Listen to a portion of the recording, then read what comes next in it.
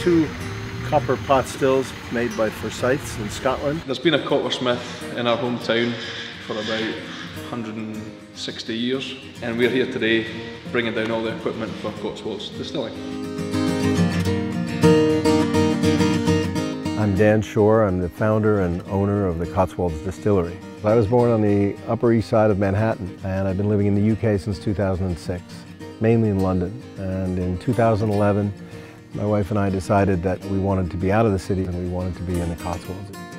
I've been in the investment business for nearly 30 years uh, and I've grown a little bit tired of it and I've spent a lot of my life selling derivative product and I really wanted to sell something that I could make my own hands, that I loved, something I was passionate about and whiskey certainly fit the bill. So we found some great people to help us out. I got into distilling in 1965. Some say I got into it by absorption.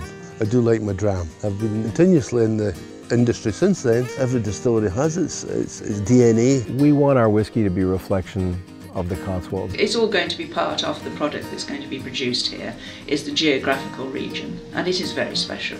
It's an amazing area to be set up in. We're working with uh, just a local farmer who's uh, already provided us with 20 tonnes of an organic barley. This estate here, Babel Grove, was bought by my father's grandfather in 1925 and what we've got here is a lovely field of organic barley destined for Dan's bottles of whisky. Warminster Maltings sits on the western tip of the most perfect soil type for growing malting barley in this country. The process that we've got here is the process that has been the malting process for all time. It's very natural. There's nothing forced. Here, the barley is allowed to express itself.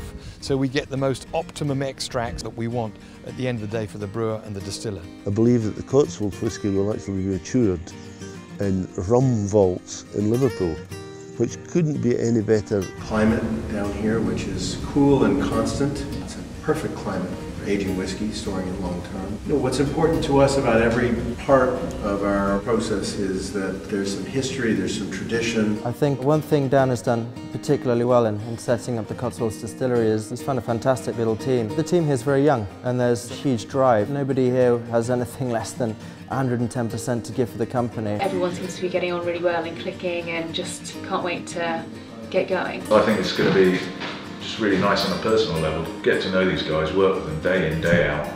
And at the end of it, have something that when it's in the shops, you can hold that bottle and think, you know, we made that. I love the, the camaraderie you get uh, in places like this. The young lads are just full of vim and vigour. All of us are young and new to the industry, so the sky is literally the limit with this distillery. Passion will basically get you anywhere, and that's what we've got lots of. When I lived here years ago, these buildings were derelict.